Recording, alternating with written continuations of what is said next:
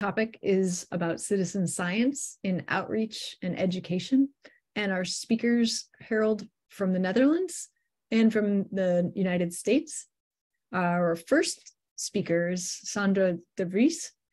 She is the founder of PulsAqua, uh, which is she is working to advise uh, how to implement citizen science to solve issues in water, environment, and the climate sector with her company, PulsAqua. Uh, she uses her background in hydrology and water resource management in this effort. And she has, among others, she's implemented this for outreach and education in different projects, and she will highlight these for us in her presentation. So I'm going to turn it to Sandra. Thank you very much, Kris and Thom, for inviting me. And um, let me try and share my screen then, because it might take some time before it starts working. Um, oh, I think it goes faster now. Um, can you all see it? Yep, looks good. Okay, one moment, I need to wait until yeah. Okay. Perfect. Um, I think in principle you said it all about me. Um, so I'm gonna immediately continue. I'm gonna tell a little bit about Aqua. Uh, because indeed that I started that four years ago. I, I got into citizen science earlier and got so enthusiastic that I realized that we need much more people that can advise on how to implement citizen science. Um, and yeah, how to do that, especially in the water sector where I've been well studying, but also working in. Um, and uh, I think in principle, I, my, my motto is really that if you if you are able to implement the methodology well, then then it is a very uh, uh, useful methodology for many different things. Among others, the topic that we're uh, going to discuss today. Um, So when uh, Thom and Kris invited me to do this, I, I, I really had like the first question was, what are we actually talking about? Because for me, uh, citizen science and education and outreach, yeah, there is well, there's quite some options because it has a lot to do with uh, three different options. Uh, well, you can talk about within education and outreach, citizen science within it. Or are we talking about education and outreach for citizen science? Or are we even talking about um, something else, meaning education and outreach within or for citizen science projects? Uh, because all of them are really important. Um, but since uh, the, answer from Thom and uh, Kris was definitely to focus on the first, I will do that. Um, and as Kris said already, I will do that via projects. Um, but as you can see here, I, I kind of changed the outreach part because I, I, I, sort of disagree with it. In my opinion, it should be citizen science within, within education and awareness raising. Um, or maybe I'm wrong and I just misunderstood it, but uh, um, that's how I see it more. And I will explain a little bit more in the projects that I'm going to show you. Um, I chose three projects that I've been working on that actually have to do a lot with education and awareness raising. Um, and I think that they will help us. But before I do that, um, I would like to, well, go into some definitions and questions that uh, came up uh, for me when I started thinking about this topic. Um, first of all, definition, I don't want to define citizen science. Um, not sure what was discussed the last time, but yeah, there are many definitions. Just want to make sure that you guys have in mind how I at least see it. Um, because for me, at least, you should have an active participation, meaning I'm not talking about crowdsourcing or using data from Twitter or um, so I, I, really talk about citizen science where um, the citizens have an active um, acknowledged participation that can be a very small one, just having a installing a sensor in the house, but at least being aware that they are actually adding to something. Um, I also believe that really part, a big part is to really use scientific methods. So really using the scientific process. to do the research. Um, and the end goal should be to answer a question. I mean, there can be a lot of side goals, so uh, side products, you could call it, like education and awareness. But for me, that is always the way I, I, I work towards uh, citizen science. Otherwise, I prefer to just call it education or awareness raising, while citizen science is, well, it's like saying that a cow is an animal, but an animal is not a cow, no? So, uh, yeah, just want to make that differentiation. Um, also, very important part is uh, when you talk about citizen scientists, then make sure that you never use them, but you work together with them. So that's also something that we'll come back to on, on the, the educational part. And yeah, of course, if you're talking about school children or students, then they are the citizen scientists, they are your target audience.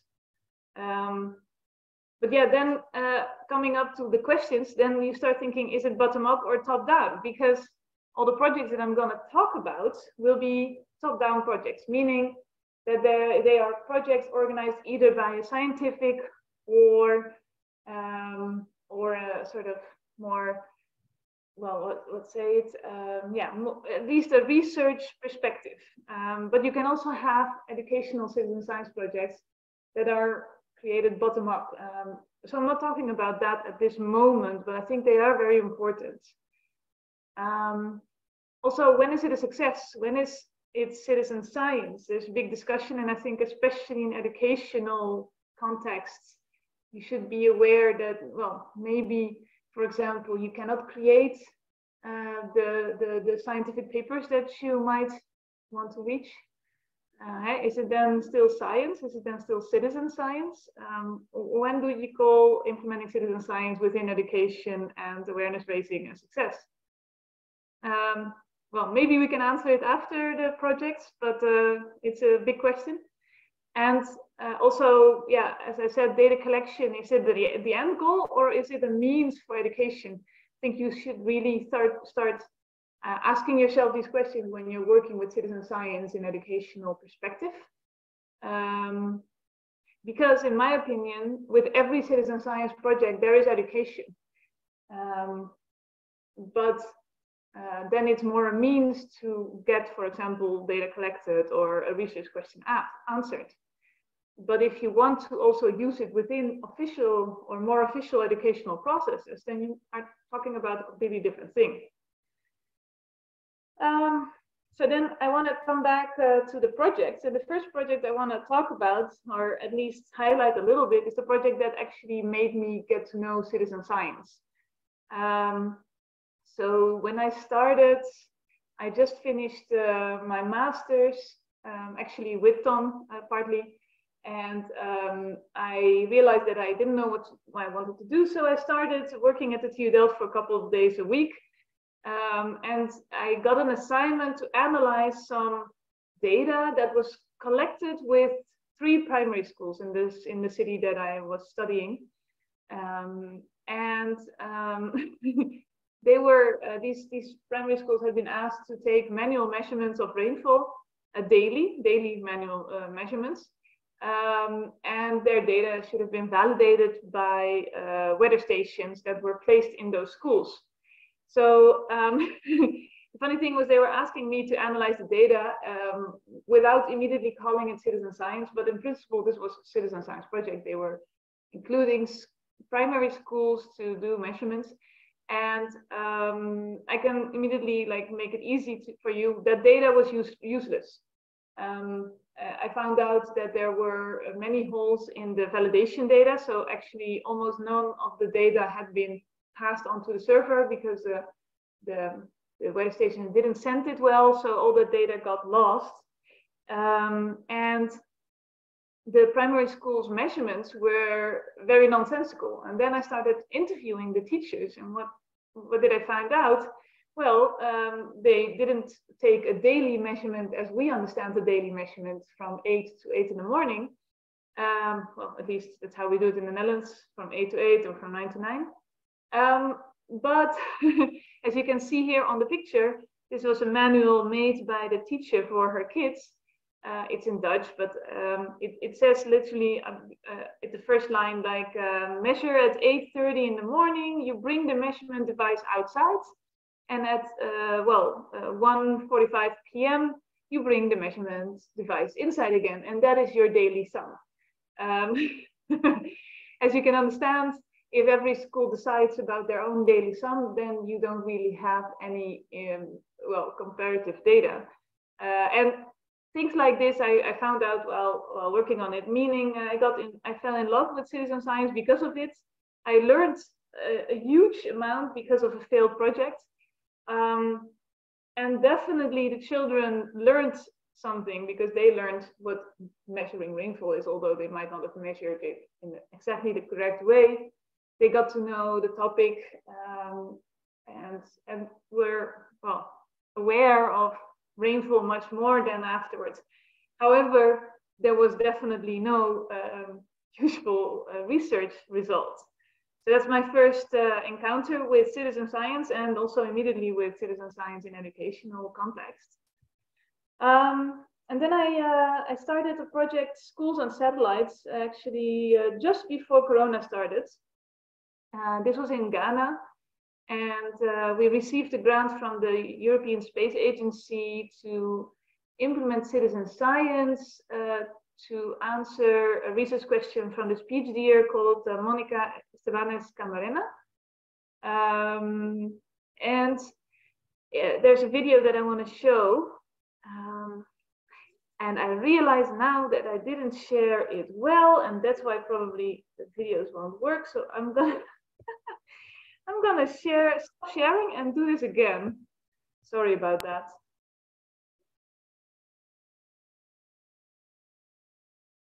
Okay, there, now it should work.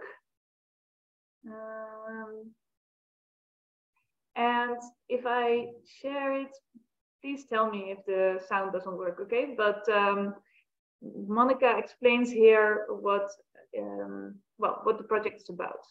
This project is based in the north of Ghana, West Africa, where over 80% of the population rely on agriculture for a living and most of it is rain-fed. Traditionally, Ghanaian farmers have followed their indigenous knowledge, such as the greening of the baobab trees or the chant of seasonal birds, to know when it was going to rain and so when they should farm. However, climate change is changing natural cycles and shifting rainfall patterns, so farmers don't know when it's going to rain anymore, which often leads to large losses. With a scarce range distribution and data transmission challenges, satellites seem to be the best option to monitor rainfall. However, existing rainfall satellite products don't perform well in West Africa. At the end, there is no accurate rainfall information. This is where our project Schools on Satellites comes in, we aim to produce a reliable rainfall product for West Africa by combining Earth observation, deep learning, and citizen science. The project is funded by the European Space Agency as one of the first pilot projects of the Citizen Science Earth Observation Lab. So, why do satellite rainfall products achieve a poor performance in West Africa? Traditional satellite rainfall products generally rely on the temperature of the top of the clouds that they link to rainfall through some analytical expression and then correct using data from the ground. However, in West Africa, this doesn't work well. Possible reasons are the scarce rain gauges and the condition underneath the clouds. There are more aerosols in the atmosphere and the land surface temperature is higher. That is why we propose a data-driven algorithm that looks at information related to rainfall other than the top cloud temperature, using convolutional neural networks. As other satellite products, it will look at the clouds, using SEVIRI, on board the Meteosat satellite. It will also look at the aerosols using TROPOMI on board Sentinel-5P, at the land surface temperature using the SLSTR instrument on board Sentinel-3, and at soil moisture-related radar data taken by the C-SAR radar on board Sentinel-1. Additionally, it will use topographic information in the form of a digital elevation model and multispectral imagery taken by the multispectral instrument on board Sentinel-2. To combine all these products, we have created a data cube for northern Ghana, in which the products can be thought of as different layers. To create it, we have used the Open Data Cube and PostgreSQL to manage the database. Once in the data cube, the products can be searched for by location, date, and dimensions and resolution of the desired output. For example, this is a Sentinel-5P aerosol product extracted from the data cube. The RainRunner rainfall retrieval algorithm will operate from the data cube. First, it will crop subcubes of 30 by 30 kilometers and estimate the rainfall for their centers in two steps. First, a convolutional neural network will do a binary classification in rain nor rain. Then, a second convolutional neural network will estimate rainfall amount. Now, where do we get the training and validation data from? With machine learning being increasingly applied in Earth observation, this is a recurrent question. Our answer is citizen science. To complement the existing RainGauge network, we are working with high school students and farmers that are measuring daily rainfall all across the north of Ghana. For this, we are using the methodology developed by Smartphones for Water, in which rain gauges are made from plastic bottles. The citizen scientists take a daily rainfall measurement and a photo of the gauge and submit them using the ODK Collect app. Then, the data is stored in the Smartphones for Water server. Due to the importance of agriculture in northern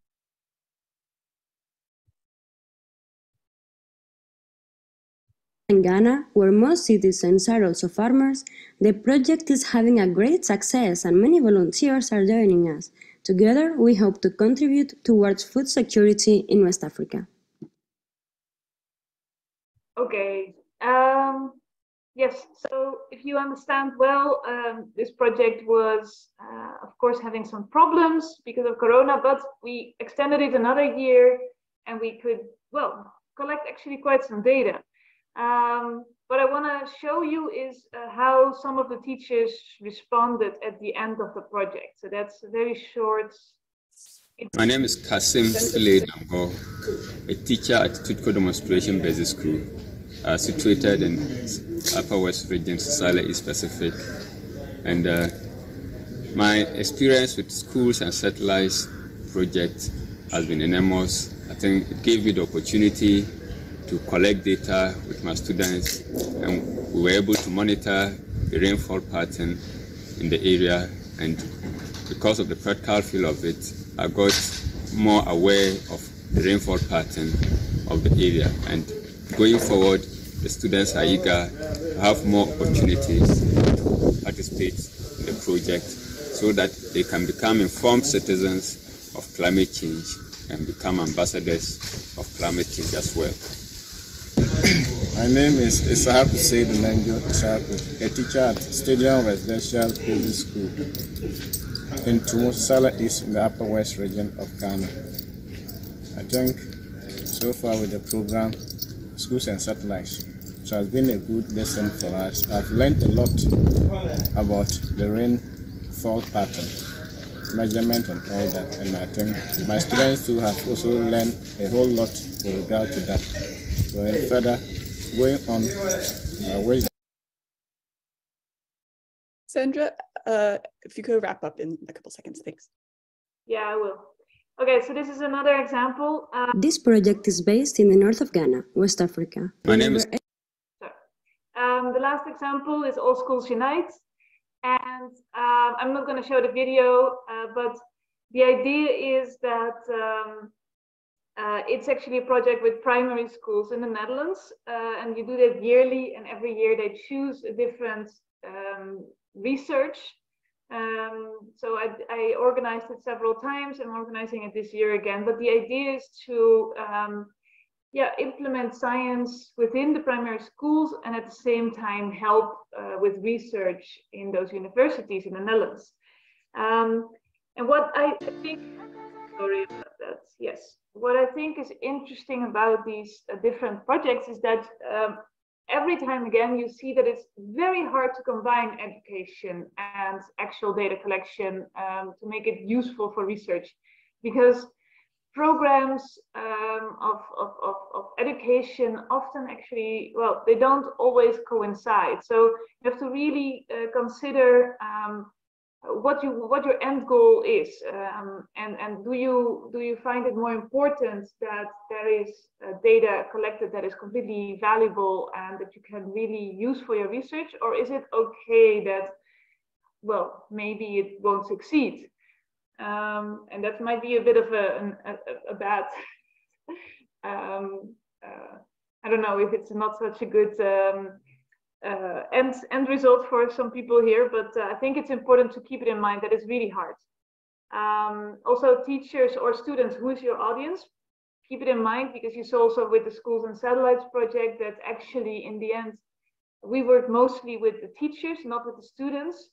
Um, and the teachers yeah, they can also just decide to do it themselves, that to not include the, the, the students so much.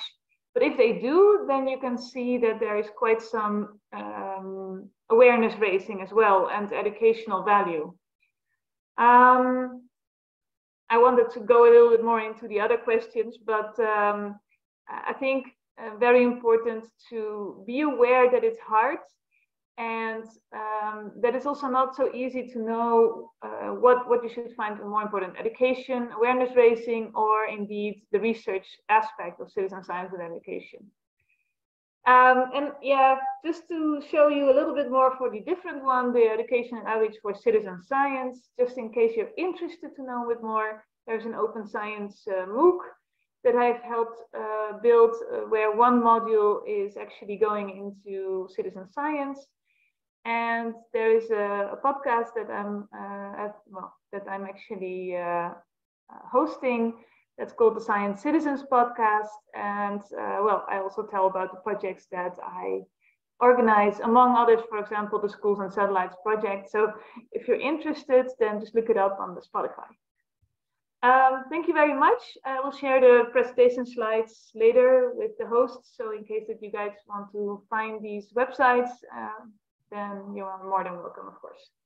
Thank you very much. Thanks, Sandra, for sharing that. We're going to hold questions until after our next uh, two speakers. So let me quickly introduce our next speaker.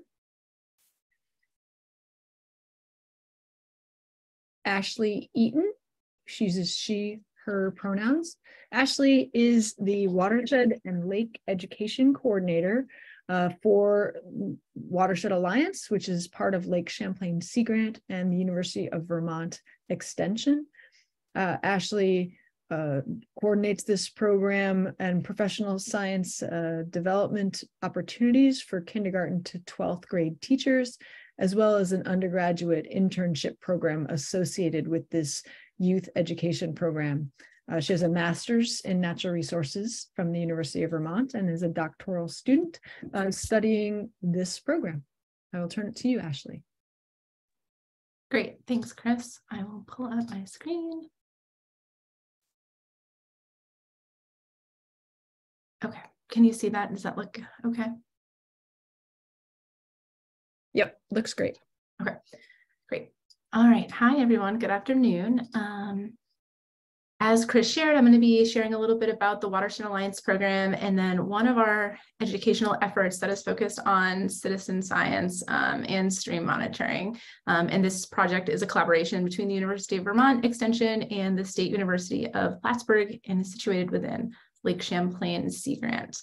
Um, so um, I know that folks are joining from across the globe. And so I just wanted to give you a little context to place. So the program um, that I coordinate is located in the northeastern United States um, and crosses state boundaries across Vermont and upstate New York. And this map on the screen right now is showing this transboundary watershed um, of Lake Champlain, which is the watershed in which I work, um, which includes a southern kind of little piece here um, of Canada. So the Watershed Alliance program, I wanted to share a little bit about the educational model that we use because I think that's really um, important context to understand how this program is implemented and what makes it so successful. Um, so Watershed Alliance works with three primary audiences, K-12 teachers, K-12 students and undergraduate students. Um, and the goal of the program really is to increase environmental literacy and awareness of local water quality issues um, related to the watershed in which we work, um, Lake Champlain. And so the program is over 20 years old. Um, and in that time span, um, this data looks specifically at 2011 to 2023, we've reached over 15,000 students, 600 K-12 teachers, and um, about 65 schools out of the 250 in our watershed, and we've had over 60 undergraduate interns. So that gives you a sense of the programmatic reach, and we're really aimed at connecting students to their place and answering this question around um, how healthy is my local stream reach. So within Watershed Alliance, we have kind of three core programs. The program that I'm going to be talking about today is our stream monitoring and stewardship program, um, and that is our community science-based program. And this is our flagship program. So our program actually started with this stream monitoring piece, the citizen science um, component, and this really has been the strongest out of all of our educational offerings. Um, and I'm going to kind of talk you through what that program looks like in the field. So one unique facet of how we implement this program in the field is that a lot of our programming is taught or facilitated by undergraduate students. Um, and so these are undergraduate students both at the University of Vermont, but also um, other colleges throughout our watershed. Um, and so these students receive training on the kind of the program, how to implement it, watershed science basics, um, and then also kind of uh, education 101, how to work with students in the field around safety and um, behavioral management and things like that.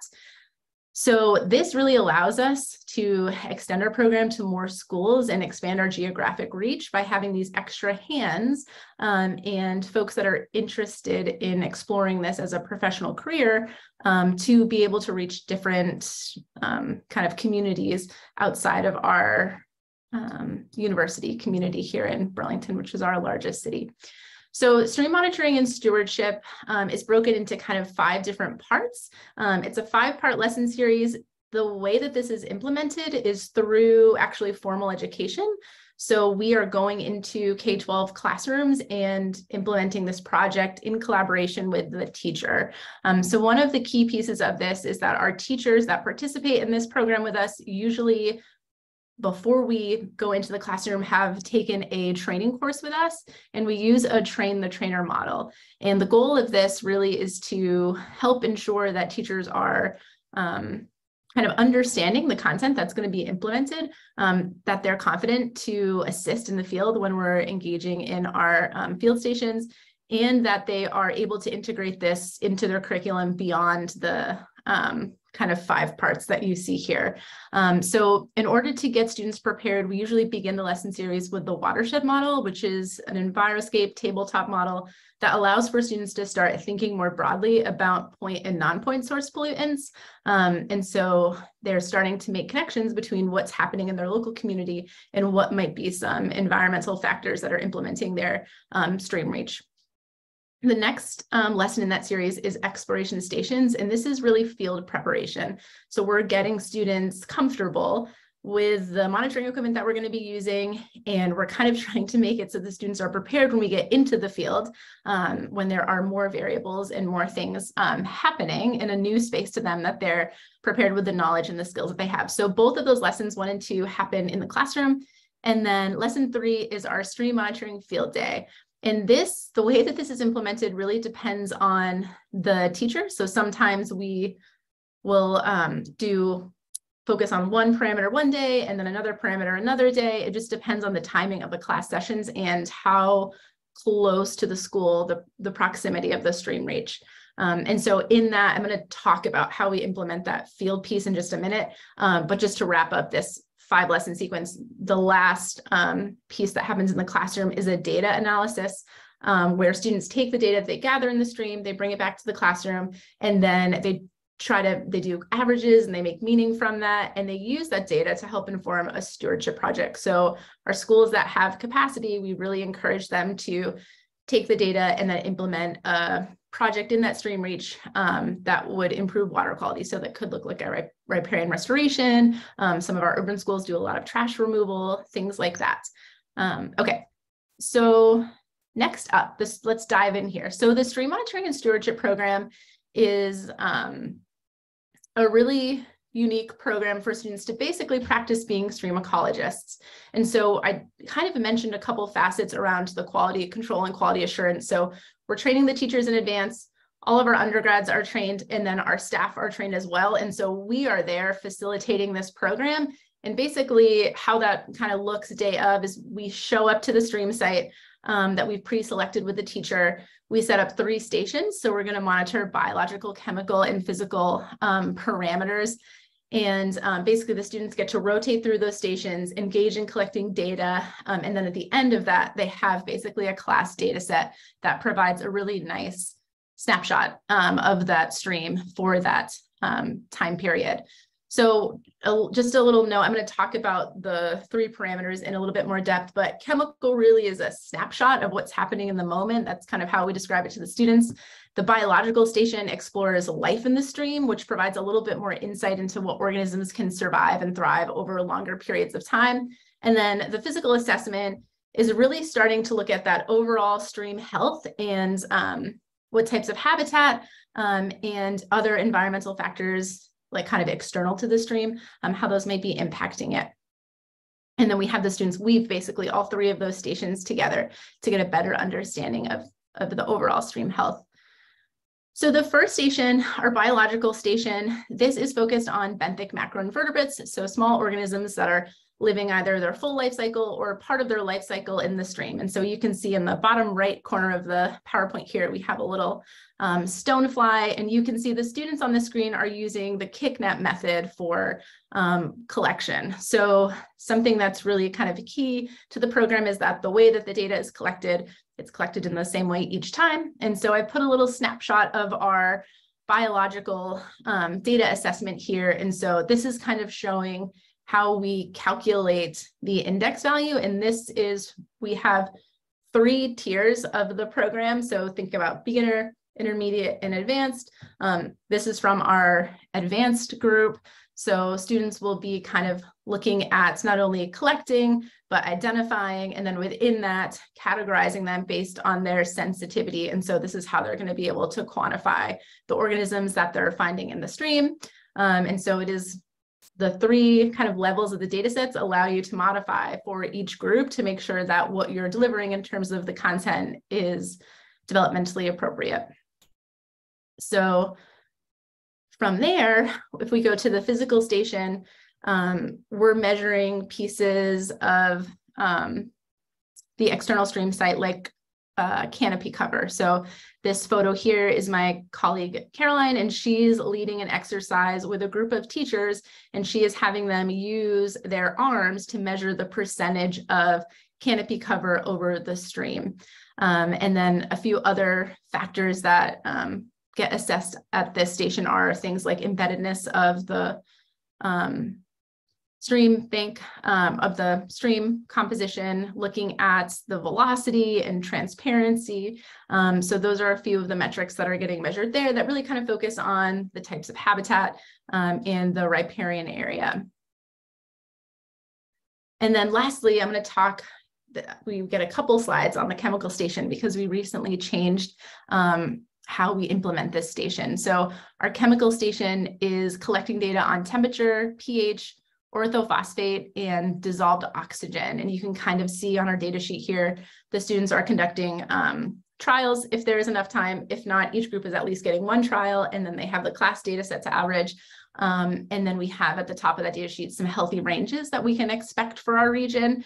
Um, so the photo on the right here is showing um, this again is a group of teachers and they are running a titration to measure dissolved oxygen. So they are um, working through that using a Hach kit that actually is our um, old methodology. We recently just switched to some new probes that I want to talk to you about because these have really been revolutionary with the previous system. As you see here, we're generating waste, which is um, something that is difficult to manage in the field and then also just not as sustainable um, over time. So we changed our methods recently to using these Vernier um, probes. And so this has been pretty revolutionary because it allows us to get higher frequency data in the field um, with students and it allows us to do more um, with that data once we get it. So um, you can see there are some teachers here on the left. They are using an iPad. So these probes using a Bluetooth connection connect and are pulling real-time data um, in. And then um, I'm going to show you on the next slide here. So it's pulling it into a graph called graphically. And so through this app, you're actually able to manipulate the data um, and organize the data in a CSV file, which makes it really easy to um, export and share and manipulate after the fact. So this um, this was a shift in the way that we had been doing things in our protocols, but it has been pretty revolutionary because it has really improved the quality of the data that we're getting for these chemical parameters and eliminated some of the um, kind of challenges to the data that we had previously been getting. Okay, a few more slides here. So the last piece is really once we have the data from the field, um, it's working with the students to make the data meaningful. So um, the students end up with a class data set that they can work through. That also gets entered into a database that Lake Champlain Sea Grant manages um, and that schools can share and look at one another's data. Um, the, as I said again, the Vernier methods have really um, improved the validity of our data and allowing us to get higher frequency data that could be used um, for potentially more rigorous research projects. And then the last piece is really trying to get the students to put into action what they've learned from monitoring their stream site. Um, so through that data collection, through analyzing that data collection, the data, and then interpreting that, they're able to design um, a student-led project that improves water quality. And so um, that's something that we're trying to work on right now is getting more schools to that step of implementation of their stewardship project. The last piece that I just want to mention, so um, I shared a little bit with you about the methods that we use and um, how we implement this in the field. Our team right now for 2023, we're working on, this is the cover of a stream monitoring and stewardship handbook that we are putting together to kind of codify the methods that we use um, to be able to share with our teachers and our partners, um, but also to be a model for other programs that are interested in engaging in citizen science stream monitoring, um, specifically with youth. So be on the lookout for that. I will put my email in the chat box. So if you have any, um, if you want to be notified when this is out, um, I'd be happy to share that. And then I just want to say thanks so much to everyone for listening, and I look forward to answering your questions. Thanks so much, Ashley. We want to move into our pop-up speaker before we open the call for questions, just to make sure we don't uh, over overstep. So I'm going to immediately share uh, and introduce uh, Dr. Ferrial Adam, who is with the um, WaterCAN in South Africa and who will share with us uh, information about a citizen science drinking water test kit. Thank you, and uh, good afternoon, good evening. Um, where I am, it's good evening, so sorry if I'm just saying that. I'm going to share my screen quickly.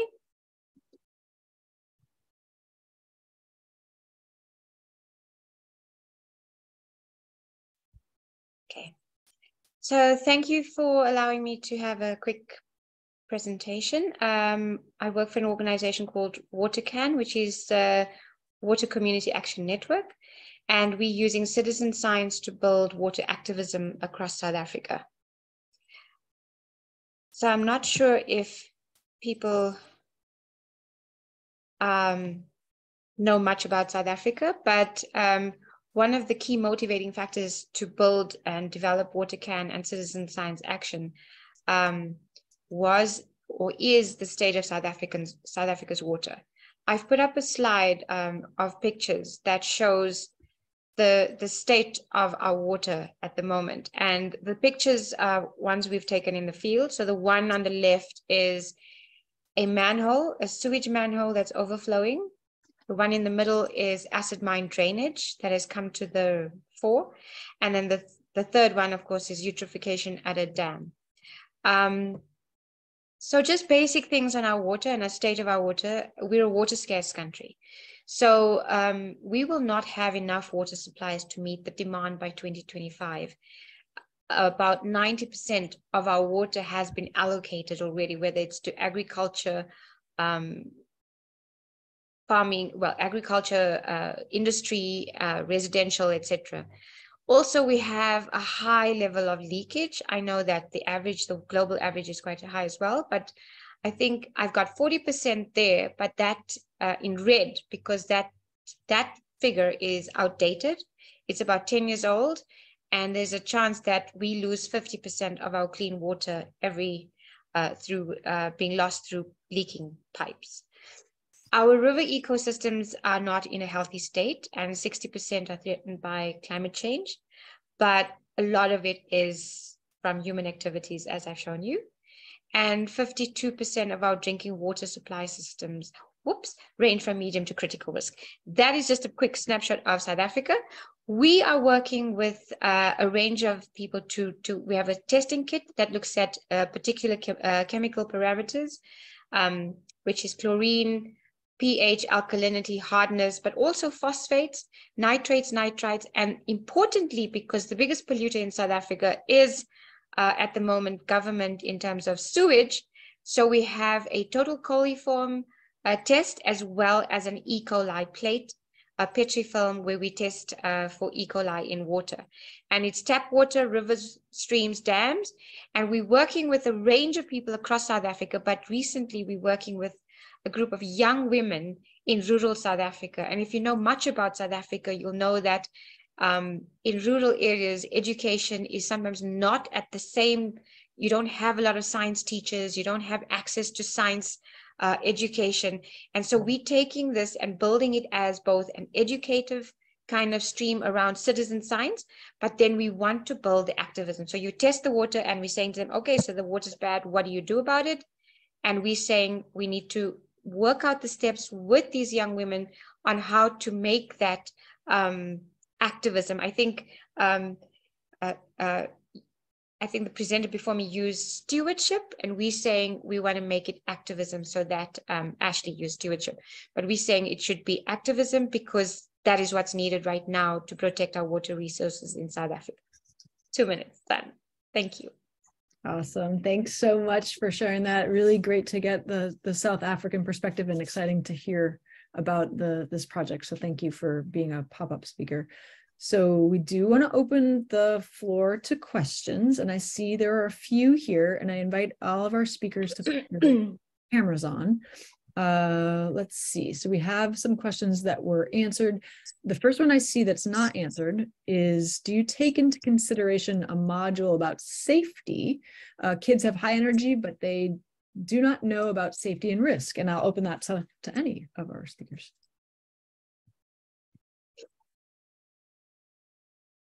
Or I'll direct, I'll go to Ashley first because I'm not sure who it was asked of, but to help facilitate.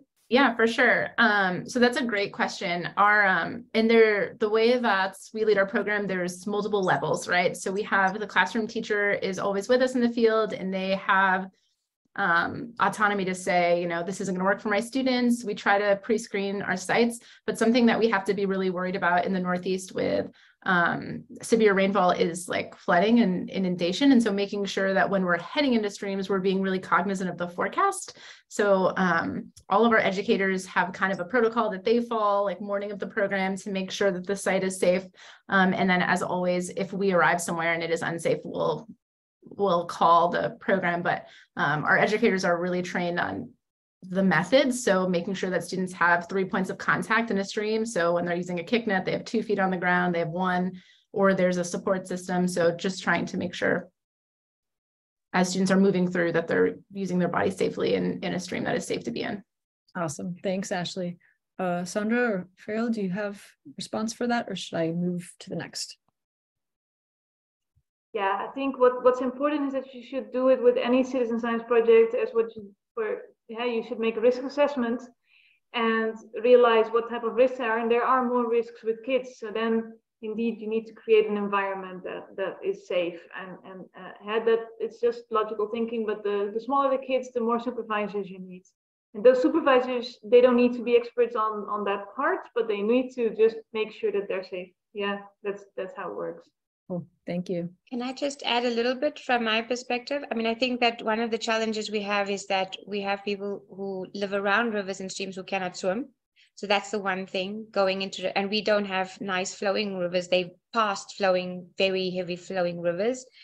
And also um, it's about safety to girls going out to the rivers and streams on their own in terms of being attacked or being harassed by people around them. So we've we've worked on a process of you do not go into the rivers and also working in groups.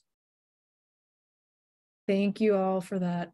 Um, the next question is, does anyone validate the data that the kids collect? How are the data um, entering into the actual research? And is that is that a question for me potentially? Not directed. I would. I'm going to open it to anyone. It's not directed. This is specifically. Okay, Sandra, did you want to respond? Um, yeah, uh, of course. And again, this is has nothing to do with just with kids now. I mean, you need to create a sort of validation method for any type of citizen science project. I think what we did, for example, um, with the Schools and Satellites project is we made pictures of the rainfall measurements. So, um, and in the in the beginning, we even actually did that. We, we manually checked what they uh, actually filled in and what they um, what the picture says, and then the picture can sometimes help to improve the measurement, but mostly train them to become better. So I think the validation also really lies into the training, making sure that you, you that they really know what to do, how to read, how to read the measurements, how to enter the measurements. Um, so that's uh, the validation. Part of the validation lies in the training, um, but you need some other other different type of validation methods, like with pictures, for example. Thank you. Okay, next question. Has anyone published reports that show the community's attitude changes, improves due to citizen science?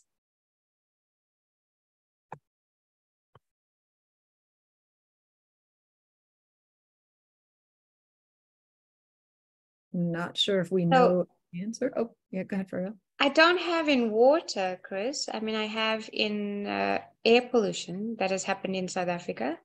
Okay. So, um, in fact, it was a method that was used uh, that came from the United States. It was called the bucket uh, method of testing uh, air quality. And they used a, a, 20 liter bucket with specialized bags and a um, bicycle pump where they would take a grab, uh, they would have a grab sample of air, and uh, they used. There was quite a bit of reports written on that whole process, and it also changed um, air quality policy in South Africa.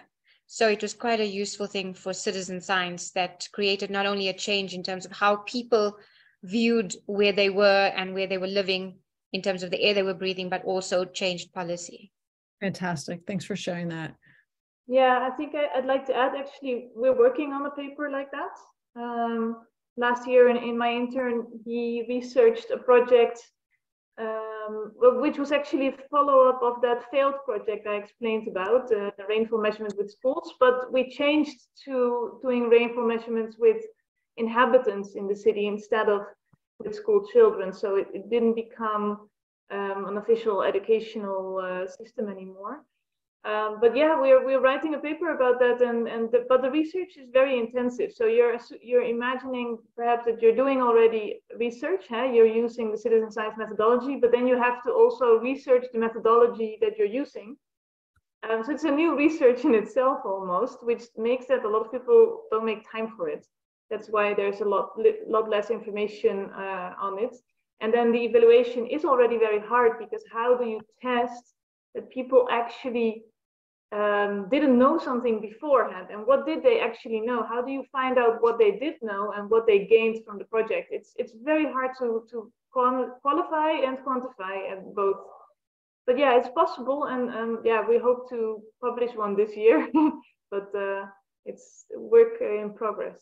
Awesome. That's that's great. I also put a reference in the the answer to the question of a publication similar to what uh, was speaking about with policy changes.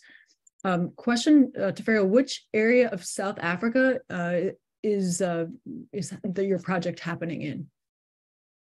Um, so we have projects happening in a few places, but this particular one working in a rural area because we work in urban areas, uh, but this particular one is in KwaZulu Natal, Um, so if people know South Africa, it's very much on the border between um, Drakensberg, which is a mountain range, and uh, Lesotho, which is the country inside of South Africa.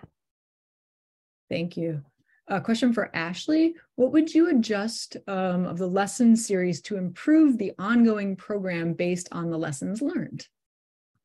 Yeah, that is a great question. I have a lot of thoughts on that, but I will keep them short. Um, I think one of the one of the pieces that could definitely be improved upon is um, working through the data with students. Um, so sometimes because it is an integration into the formal classroom, you're really limited on time. Um, but I think it's kind of if the students leave the field and just have all those numbers, it's really not that meaningful if they don't understand the implications um, and the next steps from there. So I think that's a big area. And then I think moving into that component around um, stewardship and action and activism, I really like that Ferrial shared um, framed it that way. I think that's really valuable. Um, but yeah, and I think it really could be you could tailor the program to your spe specific geographic region and focus on the parameters that are most valuable. So, you know, the water quality issues in the Northeast are going to be different than potentially other places across the globe. So maybe picking the few parameters and really um, making sure you have a tight quality control and quality assurance on those few parameters um, to make it more specific. Thank you, Ashley. Um, I see a question for Ferrial, um, a junior hydrogeologist from Bangladesh. I have a question, how to detect the water quality in rural areas uh, with the lower cost or within lower cost? So the test kit that we're using is uh, is quite is, is, is cheaper than most test kits that we've we've come across, and we worked with a laboratory within our country to um, find us the best um, strips, etc., that that we can afford and use. So we've we've we have a testing kit that um, has six of every parameter, and so you could test once once a month for six months, and it costs about oh I don't know dollars. Um, it's two thousand rand, so I would say divide by twenty, and that's how much it costs um, for six tests. Thank you very much. Um, what is the biggest challenge in your view about the implementation of citizen science in your projects? For, for, for all in five seconds, I'm going to go to Sandra because we only have two more minutes. So your quickest answer. Oh, the biggest challenge. uh, I think to answer whether the citizen science methodology is actually uh, the, the, the, methodology you need, I think a lot of people forget that question before they decide that they just want to do it with citizen science methodologies. But I mean, it, there's so many challenges. I, uh, but I would say the biggest challenge is often that people forget that one, you know, and then if you don't immediately, because it, it, if you answer what is your goal? Why do you want to implement citizen science is it because it's going to make it really easy for you? Uh, or is it because you just want to you know use it as an educational tool or something? And, and often i think that if you start doing that you forget you you you get the idea that that's a good idea but then in the end you uh, turn out that uh, the data becomes useless and then you told all the citizens that you're going to um, collect uh, data that's going to be used and then you cannot tell them how it's used because it was worthless and then yeah you see it's like it becomes a circle so that's the thank you. Thank you, thank you, Sandra. So just to, stay, to keep us on time, I want to thank all of you as our speakers, super helpful, really great interaction with the audience. Thanks for all your questions. And a reminder that we are on US Eastern time zone for next week. This US changes clocks this weekend. So next week, our webinar will be one hour earlier in places that are not springing forward this weekend, 1700 hours in, in, um, in Europe and adjusted wherever you are if you are changing clocks or not. So thank you. Have a, a great week. We look forward to seeing many of you again next week and having your participation. And again, thanks to our speakers. Thank you. Thanks, everyone. Thank you.